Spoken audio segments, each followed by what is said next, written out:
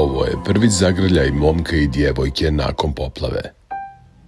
On je Haris iz Civelja.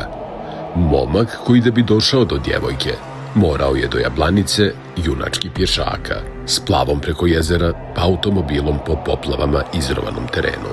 Nije imao mira dok je poslije pet dana svojim očima nije vidio. Slavo sad danas došao jer je tek bilo u mogućnosti da, da se... 20 km ste Pa pješačili i plovili otprilike od ovde.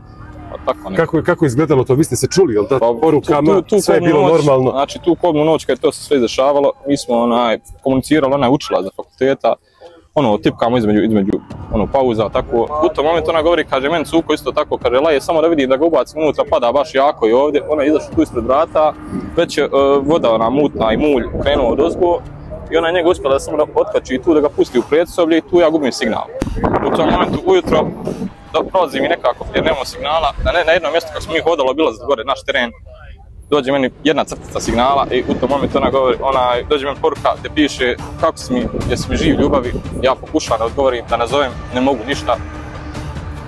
Ono, vjerojatno pita zbog mene jer zna da smo gore zadešeni, nemam pojma što se uopšte desilo, znači okolo. Znam da je bilo nevrijeme, ne, ne znam ništa znači. Da bi mi se onda kasnije pozabavili, ne mogu dobiti signal, ne mogu ništa šta ću, prihvatio sam tako kako jest, idemo onaj, oko kuće, to saniramo što se da. Da bi uhvatio signal na jednom dijelu dole ćoška kuće, e, prijateljica koja je tu sad volontira u štabu, onaj, da me nazvala prva, govori, onaj, E, jeste li vi dobro živi, zdravi? Rekao, jesmo, hvala Bogu, sve u redu, ima štete, ali sve se da sanirati. U tom momentu, onaj, ona pita mene, jesi se čuo sa djevojkom, kaže, kod nje je dole najviše pogođeno. E, idem, ja pokušavam nju da nazovem. Signala jednostavno nema, ne, ne prolazi poziv, zovem mamu joj, zovem babu, nikoga ne dobijam, ne mogu nikoga jednostavno dobijem. Odemo da hodamo, ja i rođak, ono, da obiđemo teren, već smo ono, stabilizovali stanje kod nas gore, na jednom dijelu, možda kilometar od kuće, čim je prva, prva ona crtica signala uhvaćena, u tom momentu zvoni meni mobitel, zove sa maminog broja, ona zove i govori kroz suze, znači ljubav jesam živ, jesam, rekao, ono, hvala Allahu, ono, ja suze ronim, rekao, šta je bilo, čuo sam neke stvari, počinje govoriti kao koliko žrtava imala i sve to, sve to, ono, u momentu ne znam šta da kažeš, ono, Bože, sabura i izdržite, ali ono, ne mogu ti pomoći u momentu, imam, i, sam sam izolovan, imam i tu svojih ljudi kojima trebam, ono, najradije da se mogu teleportirati tu, ali ne mogu. Znači, tu se, i onda se ponovo gubi signal, ne znam šta se dalje dešava, samo sam rekao, uspio reći, izdržite, budite jaki i, i to je to.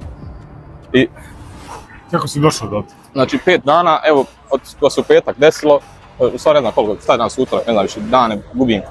Ona, d- održavamo komunikaciju, koliko toliko čuvam i psihički ostane jako o svemu tome i nju njene. I danas je ukazala mi se prilika, ona, nisam, naravno ne želim nikako pustiti svoje roditelje i to, se ja u toku večeri, htio sam samo da se više vidimo, konačno jednostavno samo zagrlim, da, da, da, da, da, ju psihički pojačam onaj snagu. I u tom momentu, kad sam danas ukazala se prilika sa, sa komšijom, čija je kćerka isto tako tu trudna, e, bila zadešena, hvala Bogu spasla se, eto, beba igrom slučaja, nažalost nije, A njen muž je isto spašen i njegova, njegovi roditelji. U momentu tu nismo, nismo ni znali da se uopšte to i također desilo. E, kad sam se ja čuo sa njom, oni su te toga svjesni bili da je, da je onaj, njihova kćerka ostala tu na konaku jer je trebala, čini mi se da bude kod nene svoje ili tako nešto. Ja, oni pokušaju da zove, jednostavno ne može još kada prođe poziv. Ja nazovem nju, nekako prođe poziv, samo pitam, rekao je Sulhana Jalen, dobro, kaže, u, u, pozadini čujem glas o, njenog oca, dobro su spašeni su. I to je sve što smo čuli. Kasnije čuli ste ostalu priču, vjerojatno, onaj, kako se, kako se sve ostalo izdešavalo. Ja sam nas, znači, eto, na svim mogućim načinima došao da se samo zagribim. To je to.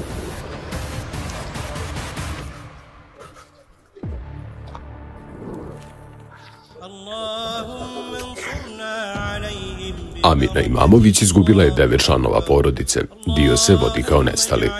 Amina je u trenutku potopa i kamene lavine probudila svoje ukućene i tako ih spasla sigurne smrti Kolektivna dženaza za devet članova njene porodice i sve koji su šehidili u poplavama bit će održana u utorak. Iz Jablanice, Galib Gicić. أهلك اللهم الظالمين بالظالمين وأخ أخرج الموحدين من بينهم سالمين غانمين